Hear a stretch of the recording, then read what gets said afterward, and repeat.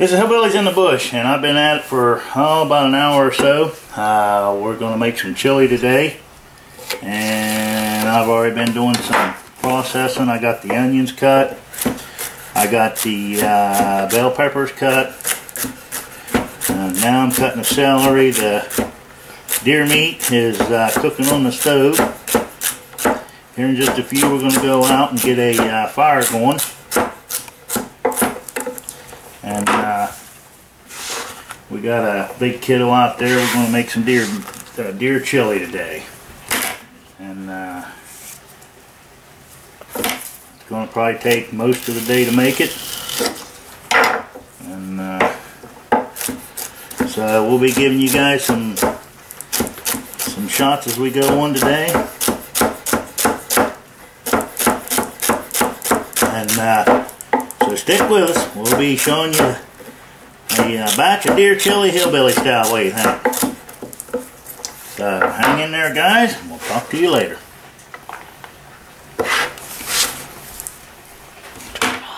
Yep. See you later.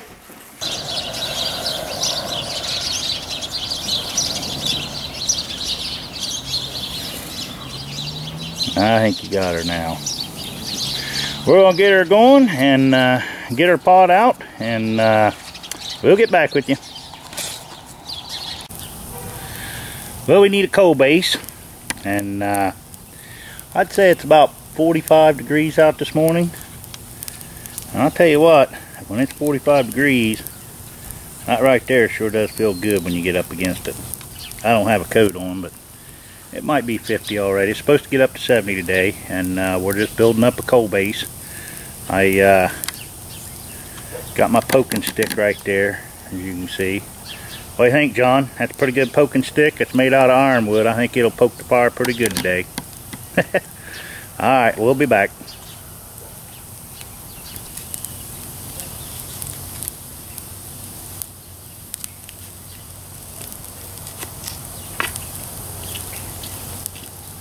Yeah, it works pretty good, John.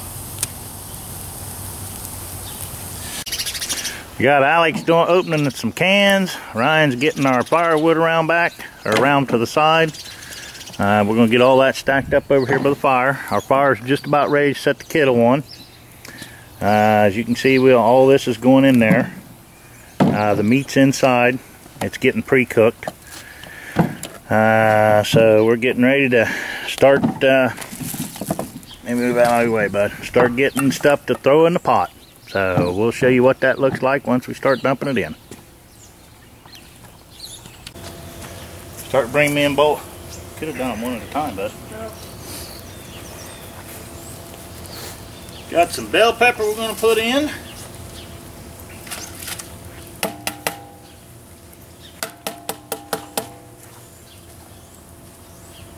Ah, here, Alex. You're in front of the camera, son. We got some celery we're going to add. And we got some onions. And these are packed in there too. Uh, I think there's four or five big uh, bell peppers, a stock, a whole stalk of celery. There's probably almost two bags of onions. And uh, we got a big stick we're going to start stirring that with. Actually, it's a paddle that we use for applesauce. And uh, take both of them off. Okay, got it? Now you're still in the shake it down in. And uh, we'll get her all in there and get it stirred around. And we'll show you guys what it looks like. Two, more. Of course, I guess I could show you what the bucket looks like here. That's all the can so far. But uh, Ryan stacking wood. And uh, that way we can start spoking them in like that right there. Just put the tips and then just keep adding them to them. Once you get a bed of coals and that pot gets hot, you don't need much, just a little bit to keep it going. But uh, we're making us a big batch of chili today. We're back at Hillbillies in the Bush. This is what we got so far.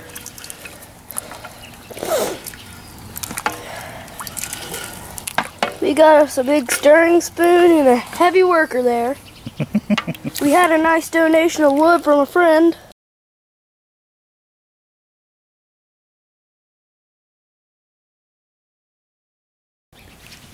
Careful moving the camera around, bud. Too fast. Move it slow.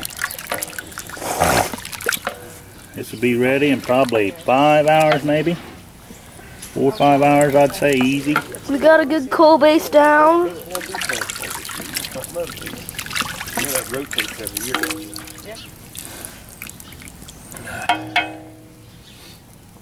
We got a bucket full and now we're starting another bucket of cans.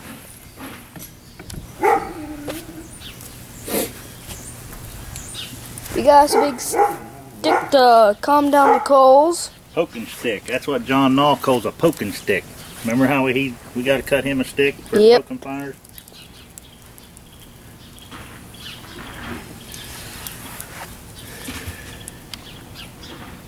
Once that gets to bubbling real good, we'll come back and show them, huh? Yep. Bye, y'all. Ow. What you doing, Alex? Stirring the pot. Stirring the pot. I know somebody on YouTube that does that. That looks like a big bubbling cauldron going on there now. I guess the fire will burn and the cauldron will bubble. I can't really see much of all that steam. I think we got at least five gallon. There might even be six, seven gallon. What do you think, Jeff? I think it's probably five. Five gallon. Mommy wants ten, but my gosh, that's a lot of chili. Uh, we'll see what happens. meat, beans, celery, onion. You gonna be the official stir? Yep. Ryan will probably be stirring it too. Yeah. Huh? Unless you start started boiling, or just barely moving around. That's enough. Don't flop it, bud. And uh, so it's starting to condense now. It'll probably condense for several hours yet, and uh, it'll be ready maybe around one o'clock, something like that. Should be. We'll see. Uh, but we'll get her cooked down, and we'll get back with you and show you what it looks like once it's cooked down. What do you think? Sound good, Alex? Yep.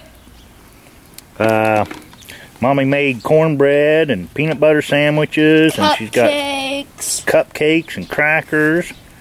And uh, we got a picnic table and some chairs set up around here for everybody. Any of the neighbors that want to come over. Uh, we've invited a few of them. They're more than welcome to come over and get them some chili. I think uh, Mommy's going to tell the preacher this morning when they go to church, and any of the any of the um, church folk that want to come over and get them some chili for lunch, they can come over. Uh, we're not going to have it real spicy. Um, I'll have some hot sauce sit out on the table, and uh, that way somebody wants to add some heat to her. It's got a little kick to it, but nothing, nowhere near any kind of real hot chili or anything like that. But uh, we'll get her done, and we'll get back with you, show you what it looks like. See you later.